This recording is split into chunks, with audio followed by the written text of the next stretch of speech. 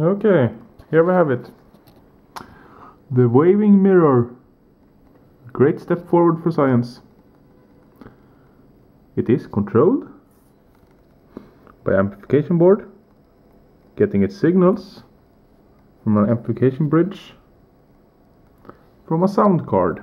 So it's controlled by a sound signal coming from the Raspberry Pi on the floor. Marvelous. As you can see, it generates quite good, good sinusoidal signals. Let's see if we can lock it down. There. 10 hertz signal at the moment. Quite nice. The mirror is moving.